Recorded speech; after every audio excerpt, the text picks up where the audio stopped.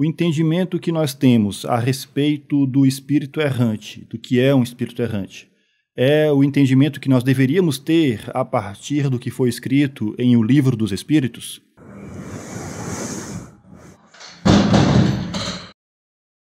Meu nome é Rafael, seja bem-vindo ao canal Mesa Girante.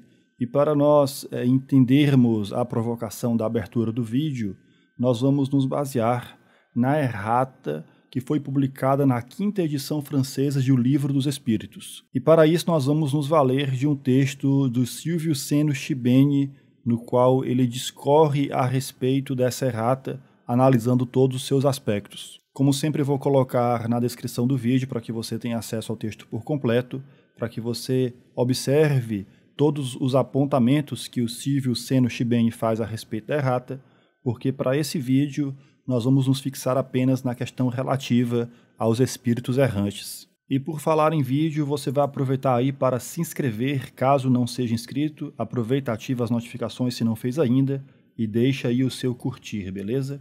Então vejamos o que é que nos diz aqui o Silvio Seno Chibeni, já no início do seu texto relativo à errata de O Livro dos Espíritos. Ele inicia falando: conforme registra a edição histórica de O Livro dos Espíritos, publicado pela FEB em 1998, e ele faz aqui a indicação da resenha em Mundo Espírita, fevereiro de 2002, página 5. A quinta edição francesa de 1861 trazia uma errata com extensão de uma página. A errata apareceu somente nessa edição. Na edição da FEB, a errata foi produzida na posição original, no final da obra. Por sua importância histórica, Daremos em seguida sua tradução integral. Os números de página referem-se à edição francesa, o exame comparado da errata com o texto da segunda edição, reproduzido fotograficamente pela FEB, indica que a quinta edição manteve a paginação da segunda edição. Deixa eu subir aqui um pouquinho o texto, que está ruim de ler, para vocês. Para facilitar a localização em outras edições, damos, quando necessário, o item ou subitem entre colchetes. Teceremos depois alguns comentários sobre as alterações indicadas por Kardec.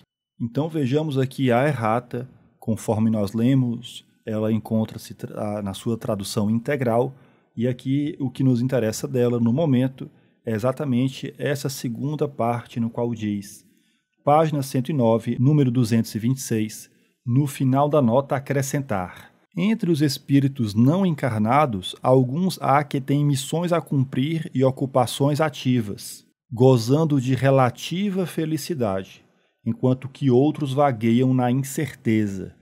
São estes últimos os errantes, na verdadeira acepção do termo, constituindo de fato aquilo que se designa pela expressão almas a penar. Os primeiros nem sempre se consideram errantes, pois fazem uma distinção entre a sua situação e a dos outros. Então vejamos aqui que o entendimento que nós poderíamos ter a partir da errata, que deveria sair em O Livro dos Espíritos, é exatamente esse. Mais na frente, o Shibeni faz comentários a respeito. Deixa eu encontrar aqui. Como eu disse, eu não vou ler o texto por completo, eu vou deixar na descrição do vídeo para que vocês Vejam até o que o Shibeni fala a respeito. Ele faz conjecturas do porquê essa errata não saiu nas edições seguintes e tal. Ele entra nesse mérito, eu vou deixar, como eu disse, na descrição do vídeo para que vocês leiam o texto por completo. Aqui, para efeito do que a gente quer abordar nesse vídeo, vejamos aqui o que é dito por ele aqui, olha, nessa parte. Finalmente, quanto ao item 226, nota-se que Kardec procurou na errata reestabelecer o sentido próprio da expressão espírito errante. Ora, com o desaparecimento da errata e a não incorporação dessa correção às edições subsequentes, esse objetivo acabou não sendo alcançado. Cristalizou-se em toda a literatura espírita o significado que Kardec reconheceu como impróprio, segundo o qual espírito errante é sinônimo de espírito desencarnado, independente de sua condição. Aqui o texto do Chibeni não é muito preciso porque a gente sabe que o entendimento que se tem uh, sobre o espírito errante não é apenas que ele esteja desencarnado, mas aqueles que estão à espera de uma próxima encarnação, porque precisam reencarnar, que não é o caso dos espíritos puros. A rigor, pelo entendimento que a gente tem, Os espíritos que esperam uma próxima encarnação, esses seriam os errantes. Então, por esse entendimento, apenas os espíritos puros é que não poderiam ser considerados como espíritos errantes. Mas aí ele continua: tentemos agora, tentemos agora para concluir avaliar a errata de forma geral para nortear os nossos estudos daqui para diante e sugerir diretrizes aos editores da obra fundamental do espiritismo. Ele avança aqui nas colocações que ele faz e mais na frente ele diz algo aqui interessante em relação à questão do espírito errante. Ele diz o seguinte: ajustei aqui a tela para poder aparecer. Ele diz o seguinte: quanto ao adjetivo errante, deixa eu subir um pouco mais, pronto. Quanto ao adjetivo errante, é claro que a reversão do uso corrente no meio espírita é difícil, quando não impossível, ao menos a curto prazo. Isso não impede, porém, que a observação de Kardec seja inserida nas edições futuras.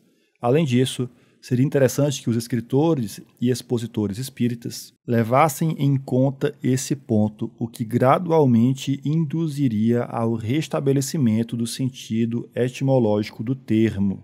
E é com base nessa sugestão do Chibene que nós estamos aqui apontando o que continha a errata que nós perdemos ao longo das edições seguintes essa chamada de atenção aqui do Shibene para a necessidade de nós nos atermos àquilo que deveria estar na obra original, mas por algum motivo, e como eu falei, o Shibene ele entra aqui em conjecturas para entender o porquê essa errata não apareceu nas edições seguintes, mas independentemente disso, agora que nós tomamos conhecimento dessa informação, é importante que essa informação ela seja divulgada a fim de que a gente tenha essa noção e esse entendimento, conforme o que Allan Kardec escreveu. Se a gente observar, por exemplo, o site do IPEAC e olhar o texto de O Livro dos Espíritos que lá se encontra, olha só aqui a questão 226, bem aqui na parte de cima, diz: pode-se, pode-se-á dizer que são errantes todos os espíritos que não estão encarnados, tal. Nós temos a pergunta, nós temos a resposta, nós temos o comentário de Allan Kardec e nós temos exatamente a nota da errata, justamente aqui inserida no texto, onde deveria estar a partir da quinta edição de O Livro dos Espíritos. Se a gente olhar na Kardecpedia, também nós vamos encontrar o texto da errata lá, inclusive com a indicação: este último parágrafo é parte da errata da quinta edição de 1865. Vejamos que interessante. Aqui a Kardecpedia indica 1865, mas na verdade é de 1861. Então aqui é o caso da gente enviar a sugestão para que a equipe do Kardecpedia reveja essa informação. De qualquer maneira, aqui está a nota indicativa da errata, conforme o texto que nós lemos da edição francesa, conforme o texto do Chibene, e aí eu andei olhando algumas edições da FEB para ver se a gente encontra também esse texto da errata. E, infelizmente, nos textos da FEB que eu vi, dos livros dos espíritos pela FEB, eu não encontrei essa informação. E aí eu coloco para vocês. Se caso vocês já tenham visto isso em algum livro da FEB, se há essa informação complementar, por favor, coloquem aqui nos comentários para que todos nós tenhamos conhecimento se a FEB também está se atentando para esse detalhe muito importante. De qualquer maneira, nós temos o texto correto com o acréscimo da errata, tanto no IPEAC quanto no Kardecpedia, e aqui nós estamos chamando a atenção para essa informação interessante, porque ela nos mostra que o entendimento possível a partir do que encontra-se em O Livro dos Espíritos não necessariamente é esse mesmo que, como o Shibene falou, se cristalizou no nosso entendimento ao longo da nossa formação enquanto estudantes da obra espírita. Beleza, pessoal? Então era isso que nós tínhamos para colocar a respeito dessa questão dos espíritos errantes. Até um próximo vídeo. Valeu!